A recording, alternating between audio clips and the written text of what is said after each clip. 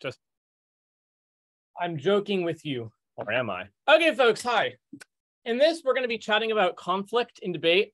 When I say conflict in debate, I don't mean like conflict like between your partners, like, you know, someone is like, you know, like someone is like, oh, wow, I hate your arguments, man. Shut up. My contention is better. That's not the type of conflict we're going to be talking about. The type of conflict we're going to be talking about is the type of conflict that's like, you know, war and like, you know, the like rifles and stuff like that. Specifically, we're going to be looking at three different types of conflict and the dynamics of those wars slash types of conflict and how you make arguments about them in debate. The first thing we're going to chat about is what's known as sectarian conflicts or sort of ethnic identity based conflicts. These are things like the Sunni Shia conflict that you see in the context of the Middle East. These are things like, for example, inter or intra religious conflict, like, for example, in the country of Nigeria. This is conflict that is waged across ethnic lines, across cultural lines, across racial lines. And we're going to talk about the dynamics of those conflicts and how to make interesting arguments about them. We're secondly going to be talking about asymmetric conflicts. These are conflicts that generally tend to feature sort of guerrilla rebel movements against larger state forces. So think, for example, terrorism. Anyone ever heard of terrorism? Yeah. Um, some some people would say that a good member speech that has lots of refutations is a de facto terrorist debate speech. Not really. Just kidding you know, because like you're like terrorizing your. Okay, anyways, I digress. Uh, and lastly, we're going to talk about interstate conflicts. These are like the things that make like sexy movies, right? Like you know, Star Wars. That's the only movie I know that has like wars in it. I don't watch a lot of movies. Um, yeah, but that's basically the gist of it. The fact that I seriously got 15 people um to um um like you know like actually show up for this is crazy that is like so wild. I can't even tell you. I have 17 people that I somehow stole to watch this. Ha! Sucks for all those other presenters. We're gonna have a blast. Um, uh, not actually a bl- uh, not actually a blast. I mean, we're gonna be talking about conflicts, which I guess include blasts. Uh, okay. First things first: sectarian, ethnic, religious, cultural, racial conflicts. You name it. So the question that you're probably asking yourself is like, what on earth is a sectarian conflict? Now, if you Google this, it'll tell you a conflict that is sectarian is a conflict over sects, which doesn't really help. And it also sounds like it's saying conflict over sex, which it's not. But conflict between different sects basically means when you have different identity groups that engage in some form of combat, some form of warfare what does that look like exactly? To be clear, this is often intrastate conflict. So, for example, in the fine country of Rwanda, back in uh, 1994, a huge genocide broke out, or massive conflict took a hold of the country, in what ended up becoming known as the Rwandan genocide, that featured large scale ethnic violence between two different ethnic groups, the Hutus and the Tutsis. The Sunni Shia conflict is a conflict between two different branches of Islam. One of them is Shia, one of them is Sunni and they too engage in sort of a sectarian form of conflict. Great question in chat on like, to what extent is genocide intrinsically sectarian? We're going to talk about that in just a second. Now, there's a few different ways in which conflicts can have sectarian dynamics, and these are all good things to think about whenever you're in debates about war. The first thing that's, I think, useful and important to think about is that different factions in a conflict might not be explicitly defined by their allegiance to a particular group, but are still very much so dominated by that group. So, for example, if you look at Iraq in the context of 2006, so the context for this, by the way, guys, is in 2003, the United States decided to be a real dick, and then Dick Cheney decided to bring the United States into Iraq. The United States invades Iraq, topples Saddam Hussein, imposes a transitional government. By the way, the transitional government actually sucks ass and they do a terrible, terrible job. Like there's just fun like little story. The United States gives like 50 billion dollars of development aid to Iraq to try to rebuild Iraq. And then randomly one day, they're like, where on earth did some of this money go? And they find over a billion dollars in cash in suitcases in a random basement in Jordan. Like that's how bad this transitional government is. I digress. But the gist basically is that you have different sort of factions within a conflict. And just to be clear, when I say factions, what I basically mean is different groups. Think ethnic groups, racial groups, religious groups, that type of thing. And in the context of Iraq, post the US invasion, there's a huge civil war that breaks out. And it doesn't break out because necessarily of ethnic tensions. It really breaks out as a consequence of the instability brought about by the US interve- intervention, but it's waged across these sort of Sunni and Shia sects. The second thing that often defines sectarian conflicts is their use of rhetoric. And this is something we're going to talk about later because the big thesis of this presentation, the big thing I want to take away is basically that ethnic conflicts or religious conflicts or racial conflicts are almost never actually about those differences. They're actually just conflicts over money or war or, or power or land. And oftentimes, those conflicts are just justified through the sort of lens of ethnicity. So, for example, if you look back in the 1990s, there was this country, it was called Yugoslavia. And Yugoslavia had these six different republics, and they were each dominated by a different ethnic group. And one of those republics was known as Serbia. And this dude comes to power in Serbia. His name is Slobodan Milosevic. And he basically instigates a huge amount of Serbian nationalism. The Serbs are an ethnic group within the region. And what Milosevic does is he basically, more or less, in effect, starts a series of brutally bloody wars that end up becoming known as the Yugoslav Wars. And although the people on the ground, the soldiers, the civilians that are fighting in those wars, certainly view those conflicts as being sectarian in nature, in the sense that it is us, the Serbs, against them, the Croats, in reality, it's really a war that is being fought for political or power based reasons. And the rhetoric just happens to be ethnic slash sectarian in nature. So it's things like this other ethnic group wants to oppress you. You're not safe around these people. We need to fight. Lastly, conflicts, and this is a generally good thing to keep in mind whenever you're debating about conflicts or any form of war. It's very, very rare in the modern day for a war just to be fought. In the modern day, it's much more common for a war to break out in different major global powers to subsequently play a role in funding that conflict. Can anyone think of a very famous historical example of a conflict or a series of conflicts in which major global powers played a role? Yeah, um, Shreyas. Um, the Cold War. Brilliant, for sure, for sure, for sure. The Cold War is everyone's favorite example of a proxy conflict. Why is everyone's favorite example of a proxy conflict? Easy, because the United States, the Soviet Union, kapow, kapow, kapow, big old sect, uh, big old, um, you know, proxy war. And nowadays, a large number of those proxy conflicts, which still continue to exist in places like, for example, Yemen, the proxy dynamics of those conflicts are also often waged across identity based lines. So, Saudi Arabia, for example, is a majority Sunni nation. And so, most of the support that Saudi Arabia provides in the war in Yemen is to Sunni militias and to the Sunni government. Iran, which is competing with Saudi Arabia for regional influence, is overwhelmingly Shia.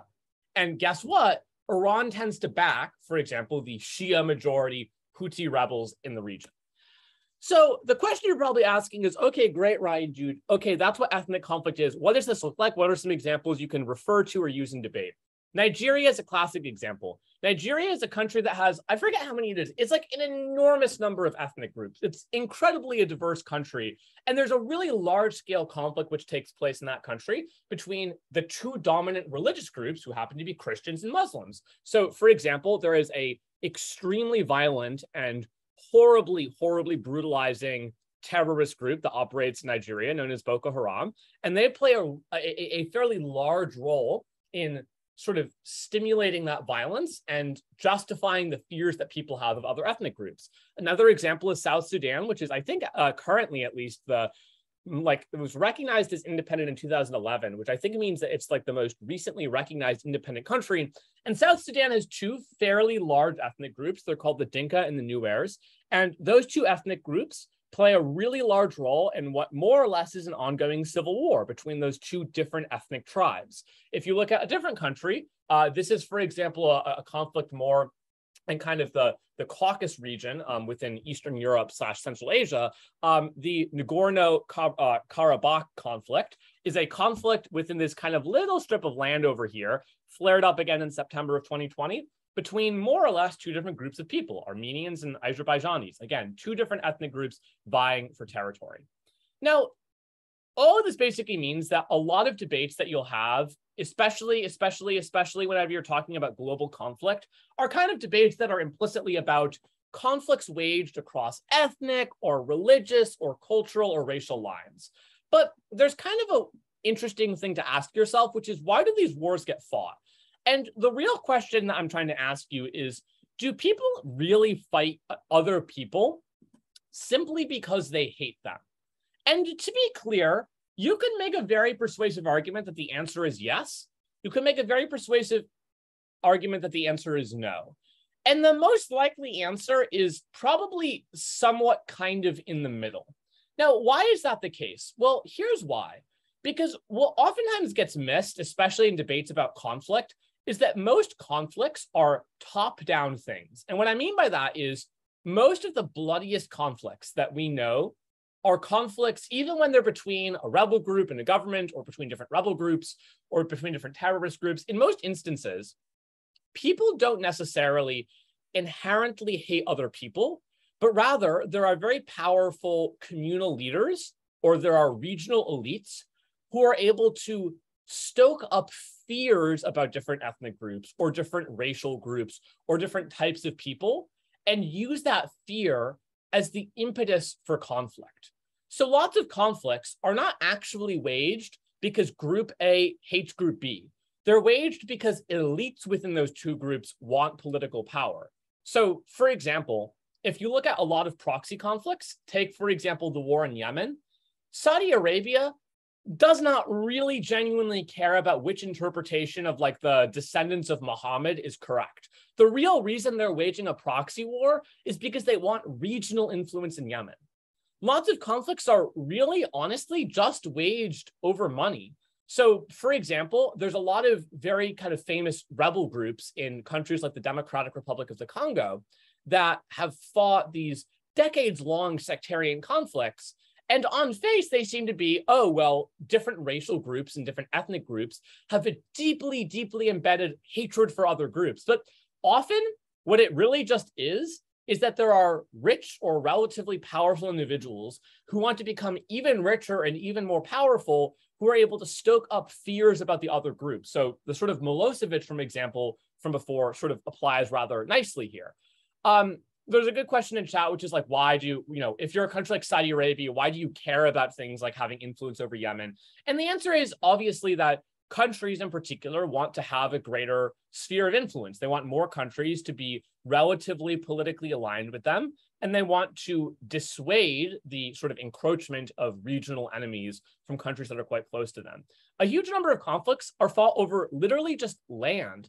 So if you look at, there was, for example, like a 20 year long civil war in Southern Africa in the second half of the 20th century over this country called Rhodesia, which doesn't really exist anymore, eventually became Zimbabwe, kind of. But in the context of the sort of conflict over that area, it's a good thing to read about. I'd encourage you if you haven't read anything about it. But the war in Rhodesia is a war that's fought really honestly for one reason People want land, man. And again, it's waged across racial lines and ethnic lines and even class lines, but it's really not a conflict over those things. It's a conflict over land. Perhaps the largest driver of conflict, though, is access and proximity to natural resources. So you guys remember that whole South Sudan thing from before? Like, oh, South Sudan is fighting a big civil war. Huge part of the reason for that is because some parts of South Sudan are really, really oil rich and some parts of South Sudan are not really, really oil rich. And guess what, guys? Everyone wants to be in the part of Sudan that has all the oil because that's where you make money. So, in a huge number of instances, even think about blood diamond trafficking by terrorist groups, for example, and a huge number of instances, ethnic conflicts are often not actually about ethnicity or race or culture or religion. In many instances, they're literally just about power, money, resources, land. Now, how does that actually matter in the in the context of debate? Well, it probably means two things. I think the first thing it means in general is that you can often make a lot of very persuasive arguments about how do we actually end conflict, right? Because there's often kind of an assumption made that's just like, well, to end conflict, all that we need to do is to make people stop hating each other so much. But the reality is, unfortunately, that most conflicts seem like it is true that the soldiers on the ground, the people living on the ground, have a genuine fear of the other side, and there is a genuine animosity between two sides or two ethnic groups. But in very many instances, that's just been instilled within them by more powerful elites simply for the purpose of maximizing their own power. The other implication is that it oftentimes means that conflicts are heavily fueled by decades long ethnic tensions that are often caused in part or in whole by colonialism. So what people often forget about, and there's a fantastic book I'm reading right now. Is it here? Yeah, it's uh it's called um, How Europe Underdeveloped Africa, and it's kind of about the process of decolonization. Definitely recommend it. But the, the, the gist is that in lots of instances, the reason why ethnic tensions exist is not because there are two groups of people that just one day were like, I hate you. What happens much more commonly is that during periods of colonialism and imperialism by Western European countries like Britain or Spain, um, or uh, you know those types of countries. In very many instances, what happened during the period of colonialism is that if you were a colonial leader, you had a really big incentive to try to pit different ethnic groups against each other. Anyone want to guess why a, a, a colonial power would want to do that? Like, if you're Britain and you're ruling over India, why do you want to make people in India that come from different groups hate each other? Uh, we'll go to Jordan for this one. Uh, well, you would want to do that, so it's harder for them to come uh, together and rise up against uh, you. Yeah, because if they're all fighting, they can't really coordinate. Yeah, hundred percent. This is called divide and divide and rule tactics or divide and conquer tactics, and it's brutal. Uh, and basically, what what sort of colonial forces realized was like, wait a second, if we can make everyone hate each other, they're going to kind of forget that actually we're the ones they're supposed to be hating. So, in the context of India, for example, there was this instance in India where different groups within India, uh, Muslims, for example, and, and Hindus came together and almost, almost, almost drove the British out. And the British were like, oh my God, this is crazy. And so what they did was they implemented, sort of implemented a, a bunch of measures to deliberately try to make different ethnic groups dislike each other. And that has very long lasting impacts. So if you look at even a country like Rwanda, for example, if you look at Rwanda's history before it became colonized, different ethnic groups coexisted quite peacefully. And there wasn't large scale conflict and there wasn't a large degree of hatred. And in very many instances, the reason why that hatred developed is as a response to or sort of implanted by the period of colonialism, which continues to impact a lot of countries nowadays. And that's often a useful thing to keep in mind when characterizing these conflicts in debate, that in very many instances, the reason why tensions exist is either manufactured by elites to justify their own power, or in many instances, it is an extension of the legacy of colonialism. And that heavily impacts how these conflicts play out. And more importantly, it also impacts how these conflicts eventually end, right? Because in a lot of wars that don't have a sectarian dimension, really all that you need to do, right, is you basically just need to like convince one side to stop fighting, right? Like, okay, game's over, you guys won, hooray, hurrah. But when conflicts are ethnically driven, for example, it's often a lot harder to get that because both sides intensely distrust each other and no no side in a country might necessarily feel confident living under a government that the other rules.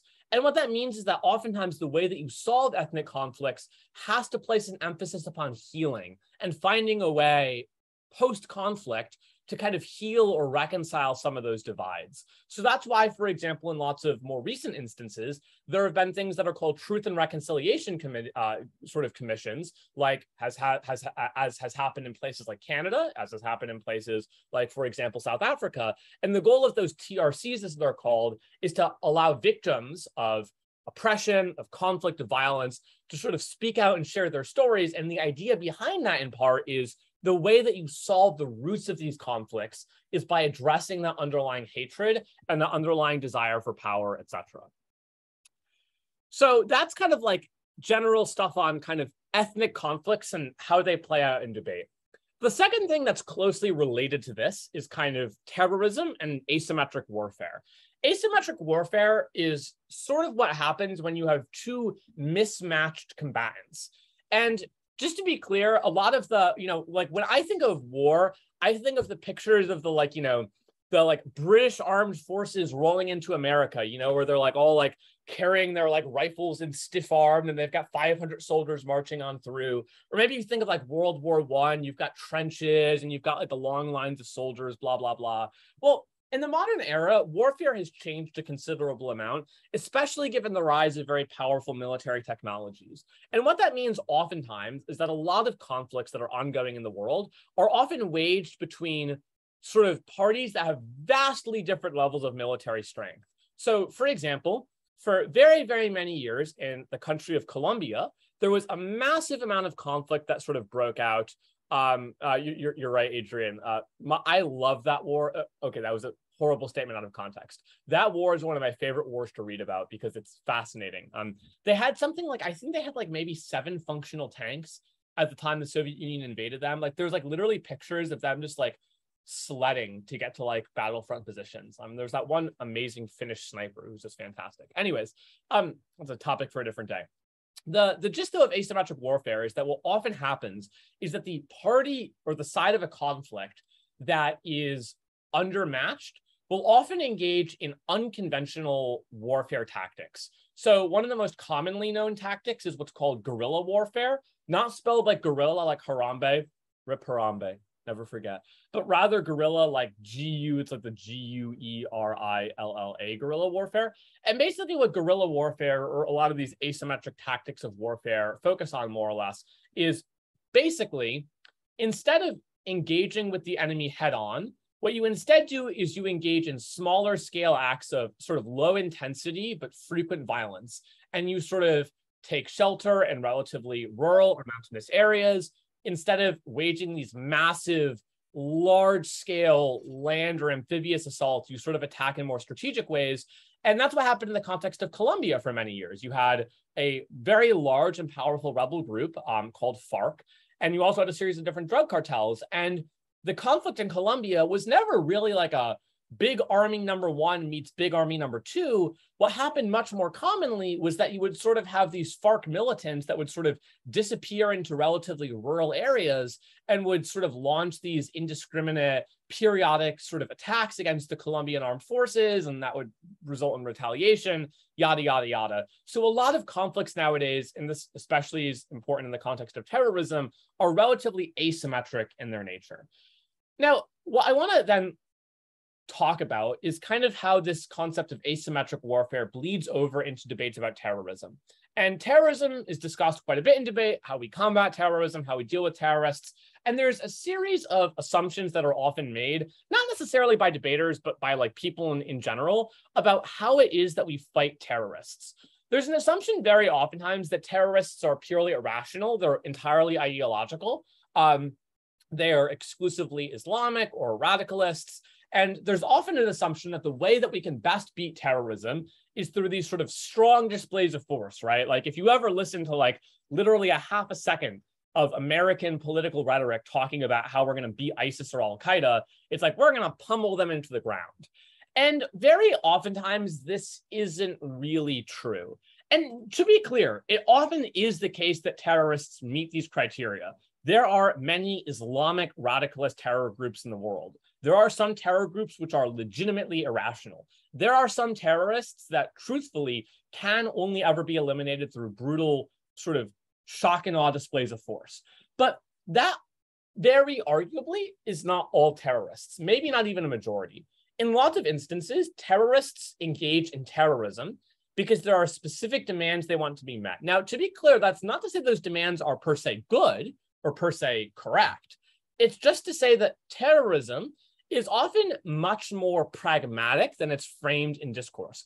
Again, not pragmatic necessarily in a good way, pragmatic in the sense that a lot of terrorist groups are very goal oriented. They want things like land redistribution, they want things like political rights, they want things like economic welfare. So, for example, in countries like Sri Lanka, there has historically been a large amount of fighting with a group called the Tamil Tigers. And it would be very easy or very lazy, perhaps, in debate to make a lot of assumptions like, oh, these are just kind of like crazy, just violent people who just engage in violence for the sake of violence. But in reality, the Tamil Tigers had very specific political and economic demands of the Sri Lankan government.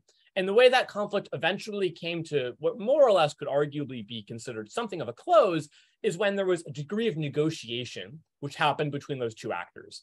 And the big takeaway I want to draw from all of this here is basically that when you talk about terrorism debate, it's often very useful to genuinely ask yourself the question of how are we best able to facilitate a movement eventually towards negotiation? How do we eventually get parties sitting down at the negotiating table, willing to make credible concessions to the other side? But there's a series of barriers to those negotiations that are often things that are worth considering. For one thing, terrorists are often very difficult to negotiate with because they're often very fragmented. So often that's the case that there's just lots of different groups who just engage in acts of violence. So, for example, in the context of a country like Syria, there's like a bunch of just kind of different radical terrorist groups, and there's no central leader they really call their own. So, for example, if you look at a group like ISIS or a group like the Al Nusra Front or a group like Al Qaeda, in lots of instances, like they're just kind of different groups and they fight with each other even when they kind of have similar goals. And that means that terrorists are often, by definition, difficult to negotiate with if there isn't a sort of single figurehead or leader who can sort of effectively message things like peace deals or you need to lay down your arms, we're going to get what we want, et cetera, to those individual combatants.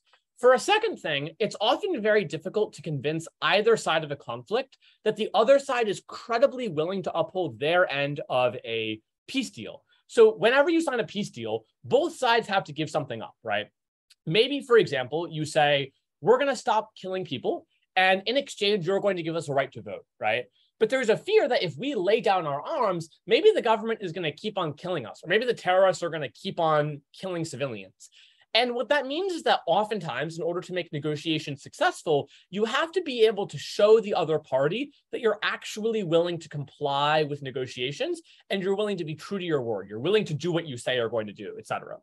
The third barrier that often exists in the context of negotiations is political constraints. So anyone who lives basically anywhere ever and has any potential capacity for human emotion generally tends to know that people have a very strong inclination for vengeance. And to be clear, that's not entirely unfair. It makes sense. When you or your community or your loved ones face violence, face terrorism, are afraid, and are constantly surrounded by fear, you're often not super supportive of governments that come in and are like, you know what, guys, let's do a thing called negotiate with the terrorists that have been killing us for a whole long while. And what that often means is that the political constraints of voters, or even if not voters, just civilians on the ground, often does make it somewhat difficult to effectively combat terrorists or combat groups like say criminal syndicates or drug cartels because there's often a political incentive to be tough on the other side to use these brutal displays of force even when doing that is not necessarily effective. And so it's often the case that negotiation even when it's in the best interest of a country is often something that maybe countries aren't willing to engage in so for example in the context of the united states there probably was a way to have avoided the war in Afghanistan that didn't necessarily require an invasion. There was some capacity to potentially cooperate with the Taliban and negotiate for the extradition of figures like bin Laden. But the United States opted, due to heavy political pressure to look strong and forceful, they opted instead to pursue a more retaliatory approach to signal strength, to not look weak, etc. Same things happen even in the context more recently of things like ISIS, right? When countries face terrorist attacks, the response, and again, I'm not criticizing this, it just tends to happen. The response overwhelmingly is that we need to strike back, we need to be strong. Um, that's why a lot of like historians, for this is like unrelated, but like, you know, people still debate exactly why Japan committed 9/11 or that not that was an incorrect statement. Why Japan committed the Pearl Harbor bombings in 1941. Um, and in part, like one of the things that um people are like always been like confused by is apparently some Japanese officials thought that if we if they bombed the United States, the United States would just be like, "Oh my God, they bombed us! We better stay out of the war." And everyone's like, "Have you freaking met America?" Like, no, that's not how countries tend to respond to these types of displays of force. Um, and so what that means oftentimes is that the third barrier to effective negotiation is that political figures often don't want to look weak. They often don't want to look like they're bowing down to the other side, etc. So all of this means that there's a lot of barriers to negotiation. And oftentimes I actually do think a very effective strategy in debate rounds is to lay out a case for why your side is better able to uh, uh, accomplish negotiation or put a real dent into um, uh, you know into the into the you know ability of a terror group to continue waging violence, etc. So TLDR, long story short, you can often make a more interesting and more nuanced series of arguments about terrorist groups by characterizing their interests and their structure a little bit more um, effectively. The last thing I'll chat about, and I don't have a slide on this, I apologize, but because uh, I admittedly think that this actually comes up relatively less commonly, but obviously in some instances there is conflict between different countries. So this is most obviously the more recent conflict between Ukraine and Russia, but it also takes place more or less whenever there are direct invasions of other countries, whenever there's territorial border skirmishes, so on and so forth. Um, and there's, I think, two sort of very common debates that tend to come up here. One debate that you'll get a lot is everyone's what's every what's every policy debater's favorite argument ever? Low probability, high magnitude. Anyone want to guess? What's what's what's everyone's favorite favorite argument? It's like the meme. What's like the meme? Dark Nuclear war. Yeah, nuclear war, nukes, woohoo, man, pew pew pew. Um, so nuclear war is like one of the classic things that gets discussed in the context of interstate uh, warfare. And the idea of interstate conflict, basically, more or less, is is more or less just that. When countries go to war, they either have nukes or they don't. Uh, and when countries engage in conflict and they're both nuclearly armed, so, for example, there's been a lot of border uh, skirmishes between India and Pakistan. There's been border skirmishes between India and China. All those three countries are nuclearly armed. Um, whenever there's conflict between countries that have nuclear weapons, it tends to be relatively limited. Uh, the classic argument for that, of course, is what's called "that's so mad, bro." MAD, mutually assured destruction. Ha ha ha. Um, but there's obviously you know a lot of critiques of the doctrine of mutually assured destruction. Probably the most interesting cr- sort of criticism of, of mutually assured destruction that I think you can you'll, you'll stumble across in debate is mutually assured destruction in very many instances really only means that countries are deterred from launching nukes at other countries, but not necessarily deterred from going to actual war with a country. So let me give you an example if hypothetically the United States landed a invasion force in China, not they're going to do it, it would be stupid, but hypothetically, if the United States did, a lot of you know contemporary theorists would be like the United States wouldn't do that because then you know China would respond by nuking the United States. But would they really? Like it's possible. But if you're China, if you think that you even have a 4% chance of surviving that conflict, you're not going to nuke the United States because you know the second that you launch a nuke at the United States, the United States is going to launch a nuke back at you, and then boom, you're both dead. So if you're China and you think that you have any chance of beating the United States and winning that invasion, then you're probably not going to actually launch nuclear weapons. The other criticism, of course, of mutually assured destruction is to what extent are nukes actually the thing that deters countries um, from going to war, i.e., to what extent is it actually the case that countries don't fight because of nukes versus because of the other bazillion powerful military technologies that countries have, right?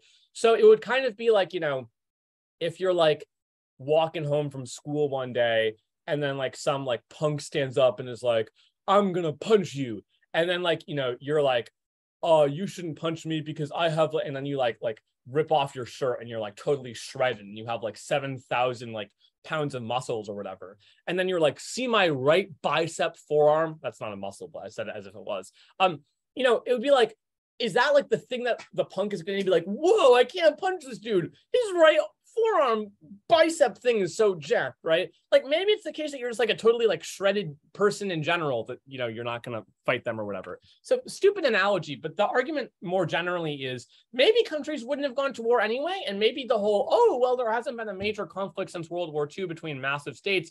Maybe that argument is really more correlation with the fact that military technology has become increasingly powerful as opposed to uh, as opposed to nukes. The classic um, uh, other thing though I think that people forget about with nukes is um, it's not just the case that nuclear weapons uh, uh, are used by countries that uh, actually have them. There's always a perpetual fear of nuclear weapons falling into the hands of terrorists who actually would probably be more willing to use them. And obviously, there's another concern, which is that in most instances, countries are protected by the nuclear umbrella of other countries. And what that basically just means is that most countries on planet Earth do not have nukes, but they have alliances with countries that do. And in most instances, there's kind of a tacit quid pro quo that's like, if hypothetically, you know, a strong US ally gets nuked, even if that country doesn't per se have nuclear weapons, it's probably the case that the United States would still nuclearly retaliate in some sort of capacity. Yeah, you are right, Adrian. The United States has lost nuclear weapons, which is, you know, kind of scary. And, you know, in case any of you have seen those nuclear weapons, you should probably call the White House and let them know. I mean, they should just ask themselves, where's the last place that you saw it? Anyways. Uh, the second thing that comes up quite a bit, though, whenever talking about interstate conflicts, is kind of the response to conflicts. So, what happens when country A invades country B, like you know Putin and Russia? Uh, and the general response is that countries tend to respond with sanctions. They tend to respond by targeting the invading country with things like embargoes, with things like travel sanctions, with things like condemnations. But they also, in some instances, will do things like the United States and the EU is doing right now, provide military aid to the rebels. They'll often attempt to do things like sponsor uh, peace deals and negotiations, as countries like Israel and Turkey have offered to do. And you'll often see, in general, a pretty large degree of support for other measures that are intended to penalize the sort of intervening nation. Now, obviously, the reason why these measures are often ineffective is because there's a sort of economic mutually assured destruction effect, right? Think about it. Is the United States ever going to impose crippling sanctions on China? Eh, probably not, because if they're going to cripple China, they're probably going to cripple the United States as well. And the United States don't want to cripple the United States because the United States is the United States. Um, but more seriously, it's often difficult to uh, robustly enforce sanctions. So, for example, North Korea. Basically, every country in the freaking world is like, North Korea, what on earth are you doing? But then guess what? China at some point in time was like, wait a second. If we just like kind of hashtag don't enforce the UN sanctions, we get to make a hell of a lot of oil money and we stabilize the Korean Peninsula. Win, win, win. So all of that more or less means that in very, very many instances, um, uh, like, you know, there's kind of lots of problems when it comes to the enforcement of sanctions. Countries find ways around sanctions. They're able to find ways to evade sanctions. They're often able to turn to other countries like, say, China or Russia or Iran or Antarctica. Just kidding, not Antarctica, I think. Uh, and that often dilutes the efficacy of those types of things. In the strongest instances, there sometimes might be an invasion, i.e., you might, for example, have like countries that will do things like launch an invasion. So the United States invaded uh, Haiti, for example, in the aftermath of a military coup in the 1990s. You've seen global military interventions into places like Yugoslavia during the war in Bosnia. But this is very rare because it's very unlikely in most instances that countries are willing to sacrifice their own soldiers for people in far off countries, which often they don't have a ton of empathy for. And the existence of the UN Security Council veto for Russia, the United States, China, etc., often makes it very difficult for the UN to work well on this, etc. All right. Oh, no, Ryan, what are you doing? Okay, close out of this. Okay. Uh, yeah, uh, Shreyas, question. Uh, yeah. Um, is there any way to effectively sanction a country without necessarily harming the civilians itself? Because I remember one of the criticisms of like, uh, over, I don't know a whole lot about sanctions, but just like what I've heard is that like one of the criticisms of like uh, sanctioning Russia a lot was that it might end up hurting civilians who haven't actually like done anything. Yeah, for sure. Uh, let me grab you a dot. Wait, what, uh, what's it called? Let me grab you. I have a full document on this with a bunch of examples that you can reference at your leisure. Uh, where is it? Ryan, Ryan, there it is. Aha. Um, oops. Yeah, here it is. Um, this has some stock examples and like arguments for and against sanctions, etc. Um, wait, did I put that in chat? I think so, yeah. Um, anyways, but uh, the kind of like main thing I'd say is that you can often make arguments in support of sanctions by targeting sanctions against specific elites or specific groups that are directly accountable or culpable for abuses. So, for example, a lot of the sanctions that are currently imposed on the country of Myanmar are, are sanctions that are specifically targeted at very specific institutions like the military or the gem industry in Myanmar that have direct ties to military elites, but not necessarily to poor rural agrarian farmers on the ground. So you can often target sanctions against specific individuals who are responsible. So, for example, like Putin himself has been sanctioned, oligarchs have been sanctioned, that sort of thing. And those sanctions might have some degree of spillover effect on, you know, people on the ground, but it tends to be at least somewhat reduced. The second thing, obviously, that you can do is you can often impose sanctions, not necessarily by taking anything away, but more so by imposing conditions on things in the future. So, for example, maybe instead of sanctioning a country like saying we're not going to buy any of the things that you you produce, you might instead say something like, "Well, what we'll do is we'll agree to continue giving humanitarian aid, but you got to treat your people better. Otherwise, we ain't going to give you humanitarian aid. So, in lots of instances, you can condition future positive measures like positive incentives through the utilization of things like, you know, uh, uh, humanitarian aid, development aid, et cetera, et cetera, et cetera. Um, and the kind of like last thing I'd say is that you can often accomplish a good deal through sanctions by targeting or by, by sort of like revoking specific um, like arms deals, for example, or like by revoking like very specific types of services that only elites benefit from. So, for example, like if you stop selling like, you know, advanced fighter jets to a country, very few people on the ground are going to be like, oh shucks, I can't fly my F-15s anymore. God damn it! Like in most instances, that's not going to harm regular people on the ground, uh, but it is going to cut into the ability of like a military, for example, to wage like oppressive brutalization of, of relatively disprivileged groups, etc. So I think the easiest way to get around all of that is basically to say, aha, we'll we'll target sanctions, but sometimes you will have to bite the harm that like sanctions might actually cause some degree of third-party collateral damage. In that instance, it's kind of a weighing debate, right? Like, will we be able to change the country and therefore make whatever bad things the country is doing less bad? If we're able to do that, maybe we'll trade off the short term harm of sanctions hurt people in exchange for the long term benefits of regime change or stuff of that sort, if that kind of makes sense. Does that kind of answer your question? Oh, uh, yeah. Thank you. Of course, of course. Other questions that folks have or would like to fire away? Anything at all? Could be about conflict, war, sanctions. Uh, any? Yeah, Jacqueline. Yeah. So, uh, uh, okay, how does like how did like China kind of like evade the sanctions without getting like backlash if they did?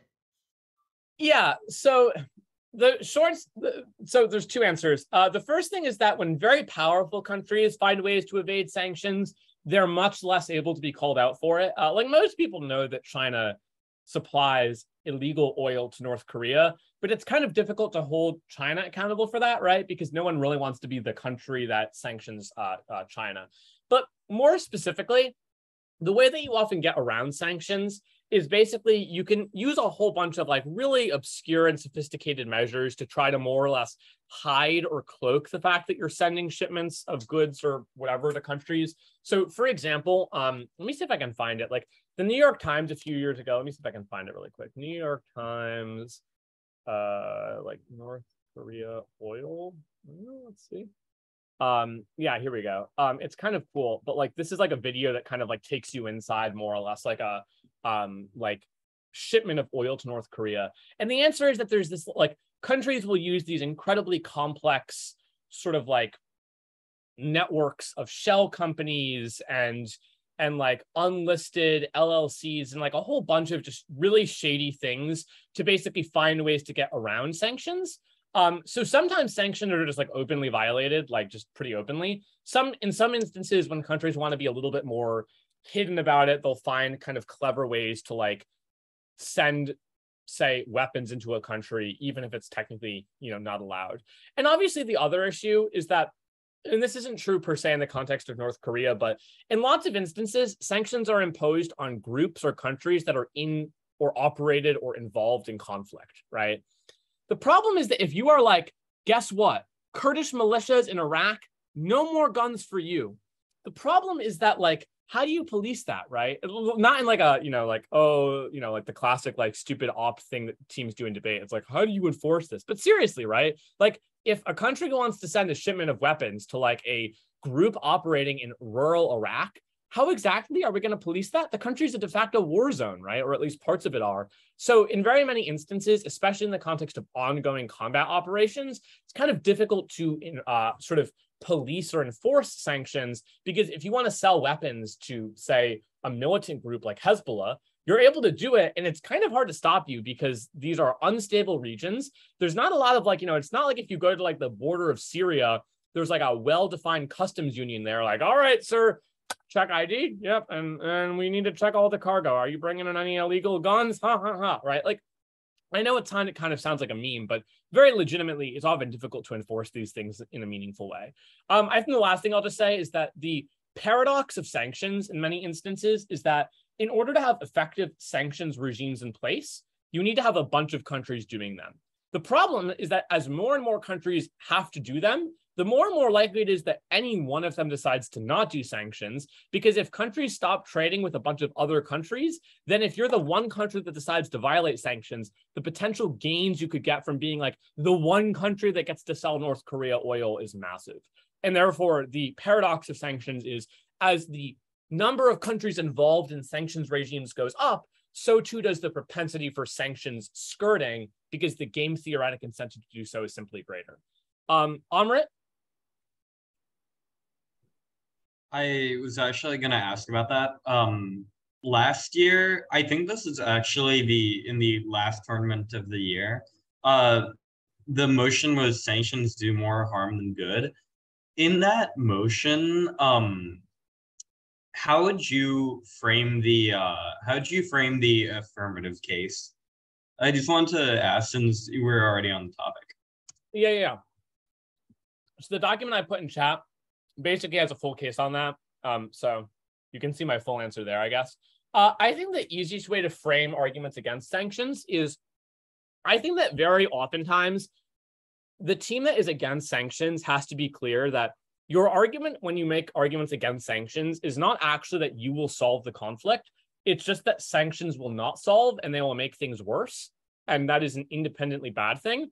At that point, I think the best thing that you can do to argue against sanctions is number one, explain why sanctions do not meaningfully affect the parties responsible for conflict.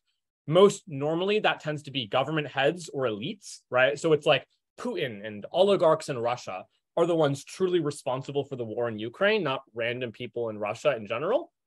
And explain why sanctions don't affect those people enough to cause regime change or to stop abuse from happening.